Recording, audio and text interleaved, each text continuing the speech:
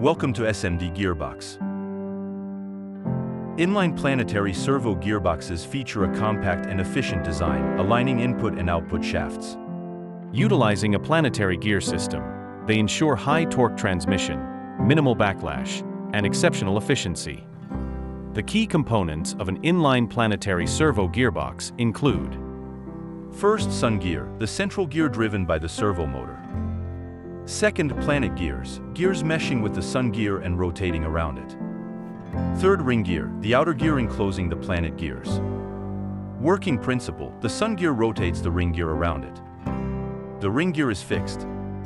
So when it rotates, the velocity at one end of planet gear gets add up and on the other end it gets cancelled out. This makes the gear spin and revolve around the ring gear. due to which we achieve a reduction ratio. This planet gear is attached to carrier, which turn the output shaft. SMD offers inline planetary gearbox with SP series. SMD offers variant in planetary gearbox like 1. SPE, planetary gearbox with square flange in output and shaft. 2. SPRE, planetary gearbox with round flange in output and shaft. 3. SPFE, planetary gearbox with flange as a output for greater load mounting.